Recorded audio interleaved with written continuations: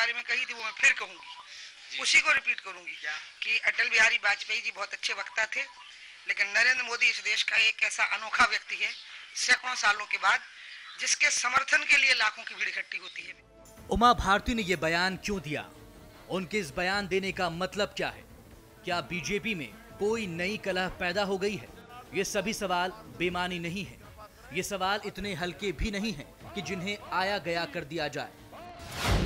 उमा भारती के इस बयान के सीधे सीधे तीन मतलब निकाले जा सकते हैं। पहला, नरेंद्र मोदी बीजेपी में सर्वमान्य नेता नहीं है। दूसरा, मोदी ना वाजपेयी जितने बड़े हैं, ना निर्विवाद हैं। तीसरा, उमा ये जताना चाहती हैं, लहर मोदी की नहीं, बीजेपी की है। बीजेपी मजबूर है, इतनी मजबूर कि मुँह खोलने से बच रही है। जिस पार्टी ने बड़े बड़े दिग्गजों को नपते देखा होगा। ऐसे में पार्टी के प्रवक्ताओं की भला क्या मजाल जो मोदी पर टिप्पणी कर सके। बीजेपी इन सवालों को तूल नहीं दे रही है।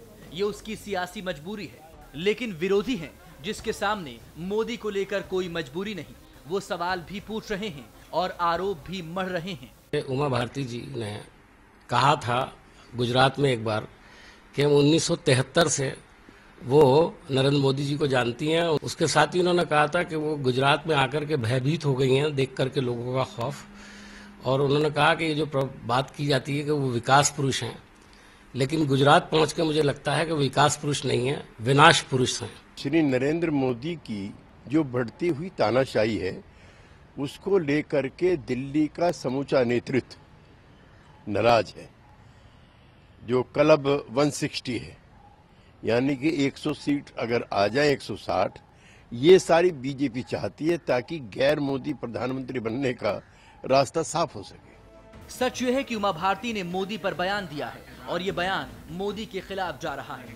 उमा भारती ने भले ही हालात के सामने सिर झुकाकर मोदी को कबूल किया हो, लेकिन ये नहीं भूलना चाहिए कि वो आडवाणी खेमे की है। कल भी थी, आज भी हैं और कल भी रहेंगी। याद होगा आपको मोदी को जिस वक्त चुनाव प्रचार अभियान समिति की कमान सौंपी जा रही थी, तब उमा ने इसका खुलेआम विरोध किया था।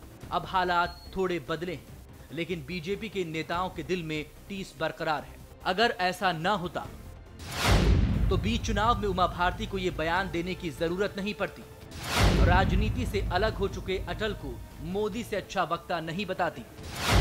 आडवाणी बीजेपी की जीत का दावा तो करते हैं, लेकिन मोदी का नाम लेने से बचते हैं। सुषमा नरेंद्र मोदी की रैलियों से दूर, सिर्फ़ मध्य प्रदेश तक सीमित नहीं दिखती। जसवंत सिंह असली और नकली बीजेपी की बात नहीं करते। नहीं, वो तो ठीक कह रहे हैं। उनके, देखिए मोदी जी के भाषण में ना तो गहराई है, ना भारत के इतिहास की जानकारी है, और ना ही भविष्य की कोई खुली हुई रूपरेखा है। और जिन शब्दों का वो प्रयोग कर रहे हैं, मैं समझती हूँ कि हमारे छोटे कार्यकर्ता भी संभल कर बोलते हैं, उनकी वाणी पे उनको कोई नियंत्रण नहीं है। और वो जिस तरह की भाषा का प्रयोग कर रहे हैं, उससे दिन प्रतिदिन उन्हीं का जो सपोर्ट बेस है, उनके सहयोगी हैं, समर्थक हैं, प्रशंसक हैं, वो कम हो रहे हैं। मोदी खुद को भावी प्रधानमंत्री बताते हैं। अपनी रैली में भीड़ की सुनामी और आंधी का दावा करते हैं। लेकिन जब बीजेपी के खुद के नेता इन दावों को संदेह की नज़र से देखने लगे, उस पर सवाल उठाने लगे तो समझ लीजिए ऑल इज़ वेल नहीं है। क्योंकि सुरमाओं से भरी सियासत में विरोधियों से तो निपटा जा सकता है, लेकिन अपनों से निपटना आसान नहीं है। और यही है राजनीति का सबसे काला पक्ष। News express